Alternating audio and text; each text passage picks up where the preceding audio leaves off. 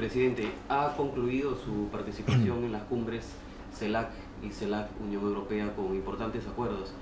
Dentro de esto eh, está dentro del primer semestre de este año la implementación del acuerdo comercial multipartes con la Unión Europea.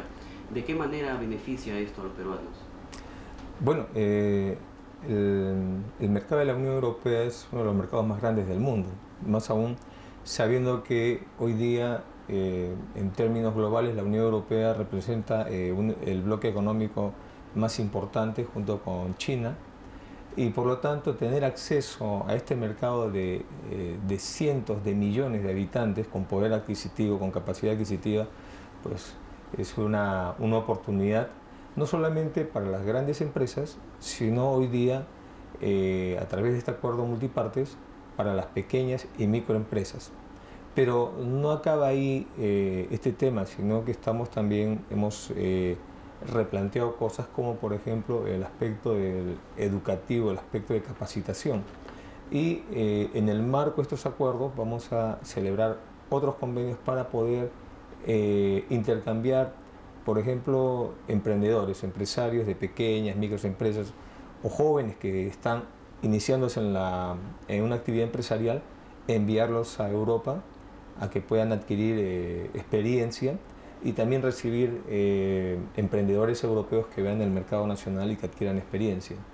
Asimismo,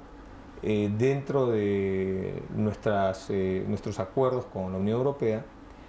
tenemos el fortalecimiento de un plan de becas, de un programa de becas que hemos iniciado con el programa Beca 18 y que nos va a permitir superar las marcas que hemos eh, obtenido ahora de becas. En el año 2012 hemos obtenido más de mil becas, mil jóvenes que están teniendo la oportunidad de estar viajando a, otros países como Francia, eh, Alemania, etcétera, España, eh, a seguir carreras de pregrado y de posgrado. y además de esto, creo que es importante porque se plantea, estamos planteando el tema de transferencias tecnológicas hay que comprender que si bien eh, Europa no está pasando por un, por un buen momento económico, eh, a diferencia del Perú, que sí estamos en una, eh, estamos,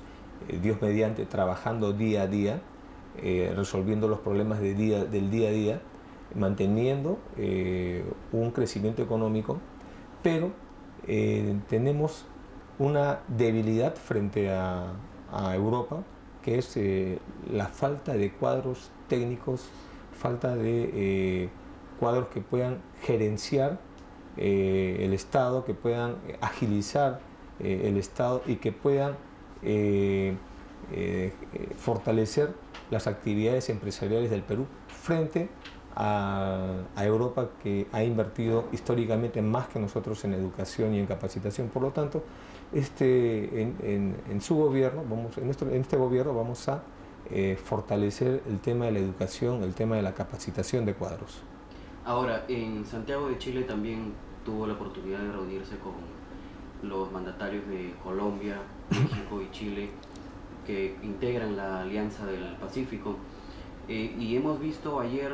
que ya se están planteando cronogramas y plazos concretos esta, la Alianza del Pacífico, eh, también en qué beneficia al, Perú? Bueno, eh, efectivamente, ayer hemos eh, tenido una reunión de la Alianza del Pacífico y es una alianza que permite fortalecer el bloque latinoamericano en el área Asia-Pacífico. Usted sabe que el área Asia-Pacífico es un área muy extensa, la más grande del, del mundo, y en la cual también en la otra orilla hay países asiáticos que tienen eh, eh, mayor peso económico que nosotros,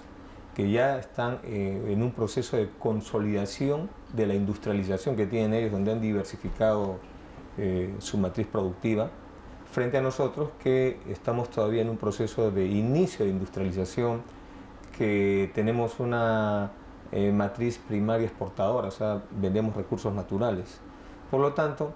eh, la Alianza del Pacífico permite consolidar el bloque latinoamericano dentro de lo que es el área Asia-Pacífico, eh, con miras al Acuerdo Transpacífico, al área PEC, etc. Eh, dentro de la Alianza del Pacífico una de las ventajas que tenemos es el tema de la, del programa también de becas que hemos, que hemos hecho, hemos iniciado, ya está, un programa de eh, para intercambiar estudiantes eh, de los cuatro países fundadores de la Alianza del Pacífico, eh, con una cuota inicial de 100 becarios por país. Esto obviamente va a beneficiar en determinadas carreras que nos estamos poniendo de acuerdo para que los estudiantes puedan capacitarse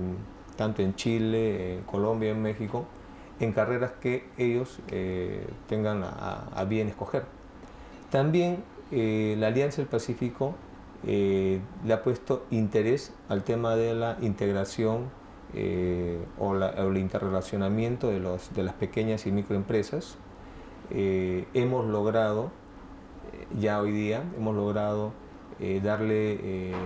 liberar los aranceles de más del 90% de las mercaderías, mercancías que entre los cuatro países comercializamos. se ha abierto el pase el tránsito de personas, no solamente de mercancías. Eh, México ha hecho un esfuerzo y ha permitido el, libre paso a su territorio, tanto del Perú como de Colombia, que era eh, el, tema pendiente que quedaba. Eh, estamos tomando una serie de tareas y compromisos a cumplir en el mes de marzo, en lo que es marcas de origen, etcétera, propios del comercio exterior. Y por último, también estamos eh, trabajando la consolidación de la bolsa de valores que permita eh, darle mayor eh, dinamismo a nuestra economía. A propósito de que usted mencionaba de la importancia de los países asiáticos, ayer se hizo el anuncio también del ingreso de Japón a la Alianza del Pacífico como, como un Estado observador. ¿no? ¿Esto demuestra la potencialidad de, del bloque de Alianza del Pacífico? Bueno, la Alianza del Pacífico ha despertado la, la curiosidad y las expectativas de diferentes países de todo el mundo. ¿no? Canadá, por ejemplo, eh, eh, también eh, está interesado y ha participado ya en una reunión de la Alianza del Pacífico. Guatemala también ha sido incorporada como país observador. Hay países ya observadores como Panamá, por ejemplo. la Unión Europea también ha señalado su interés de de relacionarse más con la, con la Alianza del Pacífico, porque es un, es un, bloque bastante dinámico, es un bloque eh, de economías abiertas, no es un bloque ideológico, eh, es un bloque que busca eh, integrarse en el contexto latinoamericano con una clara con un, con un, claro enfoque de lo que es mejorar el comercio, mejorar la, no solamente el comercio entre los cuatro países, sino eh, hacia otras áreas del planeta.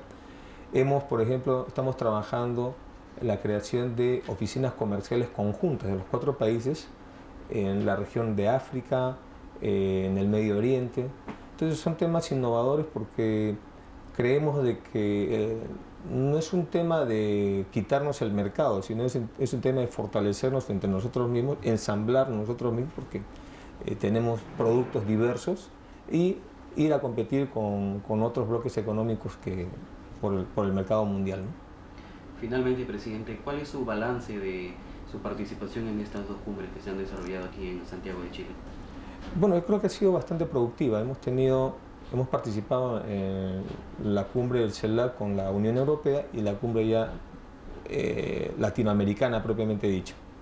Pero además, y ahí eh, hemos escuchado una serie de propuestas, eh, iniciativas de diferentes jefes de Estado, hemos, hemos, planteado las nuestras también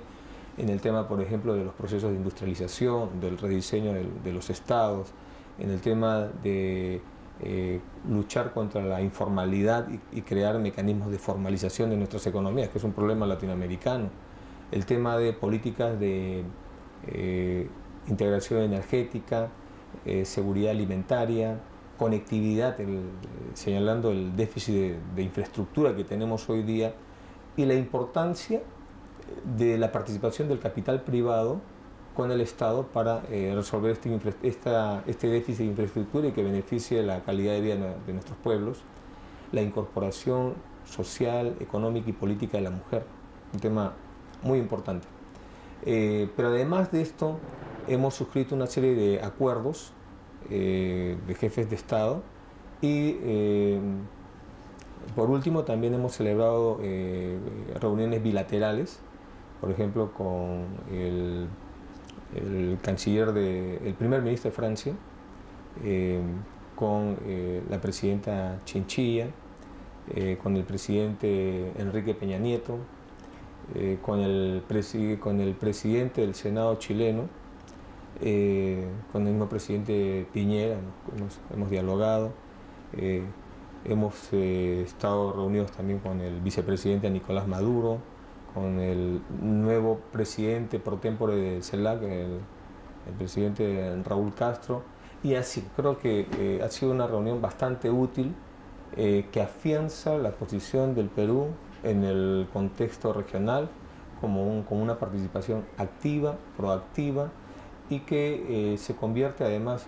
por eh, su solidez en un socio importante, en un actor importante dentro de lo que es eh, la región latinoamericana. Muchas gracias.